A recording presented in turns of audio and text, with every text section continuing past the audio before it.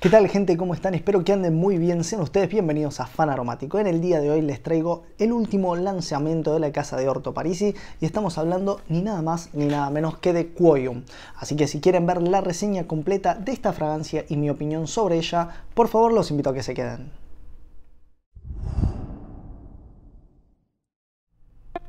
Y bueno, para comenzar con la reseña vamos a hablar brevemente del tema de su packaging. Como pueden llegar a ver, el packaging es el mismo que siempre, solamente que cambia una cosita y es que le pusieron como esta chaquetita de cuero que bueno, si nosotros eh, se lo queremos sacar, se puede sacar tranquilamente y nos vamos a encontrar con el típico eh, frasquito de siempre. Vamos a tomar el tiempito para sacarlo porque está un poquito a presión, pero se puede sacar lo más bien.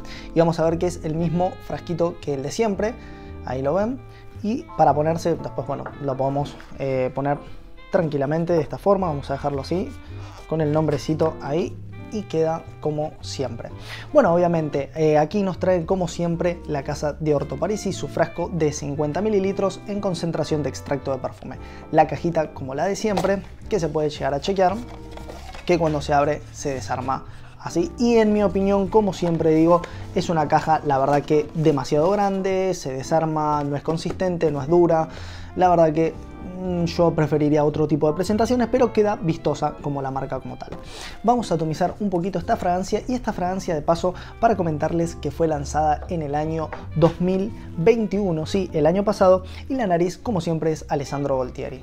Vamos a atomizar ahí la fragancia como siempre Vamos a hablar un poquitito de ella, que yo ya la tengo atomizada y estuve, la verdad que viendo cómo se comportaba en el día de hoy, aunque ya la vengo probando hace bastante.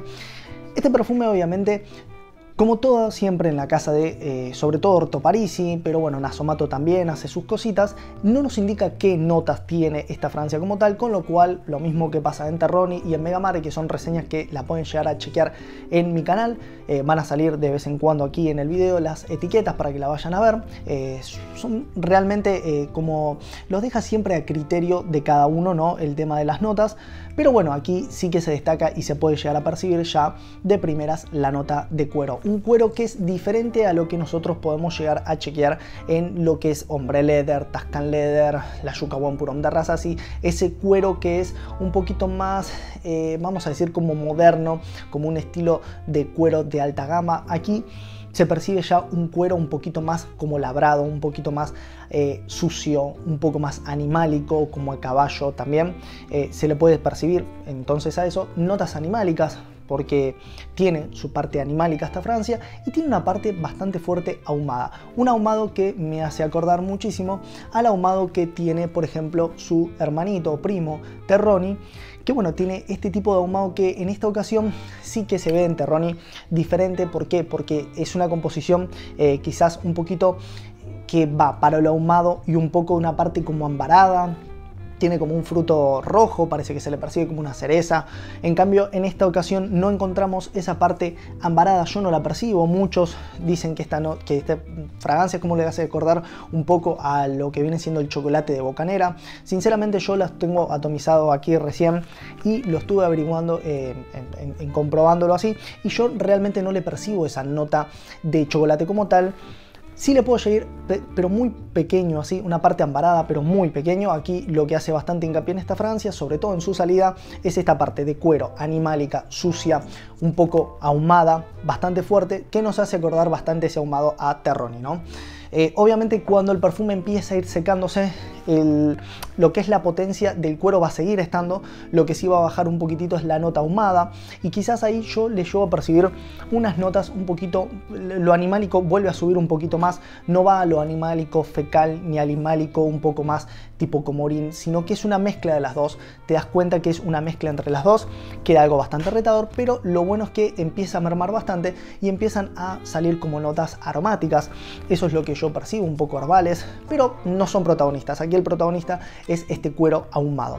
La verdad que es un perfume, eh, eso es lo que yo puedo eh, comentar sobre esta fragancia. La verdad que es un perfume, como siempre nos viene presentando la Casa Orto Parisi, de excelente rendimiento y este no es uno menos, sino que es en mi opinión, un perfume excelente de un performance formidable, que estamos hablando de que nos dura aproximadamente por encima de las 12 horas esta fragancia como tal, lo cual recomiendo al igual que con Terroni o con Megamare en esos casos de chequear antes siempre unas atomizaciones para ver cuánto nos vamos a atomizar porque son perfumes muy invasivos sobre todo este junto con el de Terroni son perfumes bastante invasivos. En mi opinión, esta fragancia como tal tiene un poquito más de, duración y quizás un poquito menos de proyección, sí que a la salida sale bastante fuerte. Yo pienso que es una fragancia que por más de 2 metros, 3 metros hasta inclusive, te van a sentir las primeras 2 a 3 horas cuando por ejemplo en Terroring quizás es un poquito menos, pero eh, sigue como proyectando un poco más. En, este, en esta ocasión, en esta Francia, eh, después de esas tres horitas eh, se va a quedar en una burbuja unipersonal hasta un poquito más, pero es un perfume que se va a ir más o menos quedando bastante a ras de piel, pero siempre te va a acompañar. De hecho, eh, si nosotros colocamos una fragancia en algún tipo de vestimenta, se van a dar cuenta, como en el caso de Terrón y en el de Megamare, que son fragancias que si se quedan ahí impregnadas van a quedar por mucho tiempo. Fragancias con mucha consistencia de, extractos de esencias muy fuertes. obviamente que es una casa que en eso sí que hace mucho hincapié en el tema de las duraciones y esta, bueno, obviamente es una de ellas. Es una fragancia que dura bastante. En cuanto al tema del clima, para mí es una fragancia que va muchísimo para los climas más frescos. Esta nota ahumada es bastante persistente durante toda la Francia y también esta nota de cuero oscuro, eh, animálico, eso hace, genera a que sea una fragancia que yo en mi opinión para mí es bastante invierno, pero en otoño también se puede utilizar. Primavera y verano en mi opinión totalmente descartado a no ser que en una noche de primavera fresca, en una salida o algo así, lo queremos utilizar con pocas atomizaciones, puede llegar a ser. También vamos a hablar un poquito del etiquetado de esta fragancia. En mi opinión, obviamente, Orto Parisi nos dice siempre que las fragancias son netamente unisex. En mi opinión, esta fragancia se tira más al público masculino que al unisex, hasta inclusive, eh, por este tema de notas tan pesadas, tan oscuras y tan fuertes que termina generando una composición aromática que se destina un poquito más a un público masculino. Las mujeres que tengan ganas de probar obviamente siempre que puedan hacerlo, fíjense si va bien en su piel, si generan cumplidos o si se sienten cómodas utilizando esta fragancia, pero es una fragancia bastante oscura.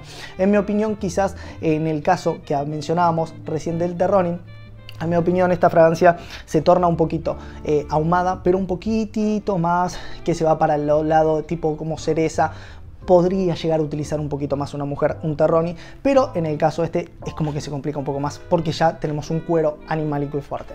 Obviamente que el tema de cómo utilizamos esta fragancia, en mi opinión, va para lo casual y semiformal.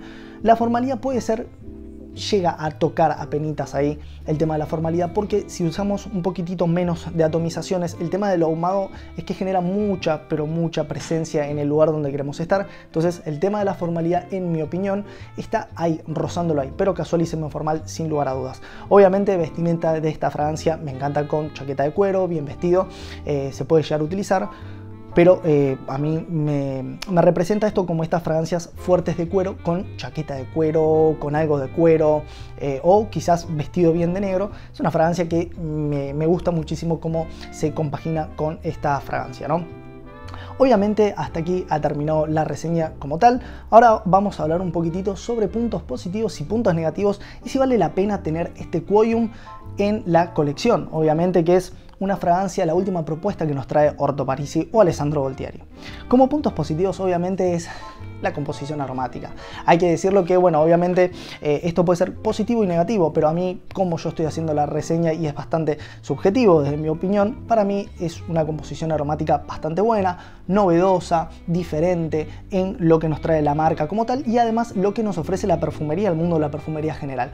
Obviamente hay muchas fragancias que tienen cuero ahumado, fuerte, retador, animálico, pero como esta composición aromática que tiene como el ADN parecido a lo ahumado del Terroni, me gusta muchísimo. Este ADN siempre lo podemos encontrar en algunas de sus fragancias como tal, ¿no? Obviamente muchos hasta inclusive lo llegan a comparar con eh, lo ambarado del Bocanera, en cuanto a lo, mínimo ambarado chocolatado que le persiguen del Bocanera, que también es de la marca, o también puede llegar a ser que lo comparen con la oscuridad del Black Afgano, que también es de Nasomato, de Alessandro Voltieri, eh, tiene como un ADN, una reminiscencia que a algunas de estas nos va a parecer, pero me gusta muchísimo a mí el el grado de composición aromática retadora y buena que tiene la Francia, porque a pesar de ser bastante retadora la Francia, tiene como algo ese ADN que ya una vez que nos familiaricemos con eh, este tipo de ADN, ya vamos a entender un poquito más las Francias que nos propone Alessandro Voltieri.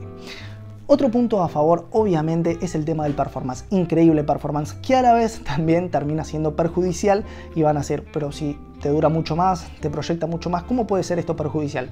Porque si nos sobreatomizamos es una fragancia que va a ser bastante tediosa y además si atomizamos mucho en ropa puede ser que se nos quede la ropa impregnada, muy seguro que sí, a este aroma y que se nos haga bastante complicado dejarlo sin aroma como tal a la, a la ropa que llevemos, ¿no?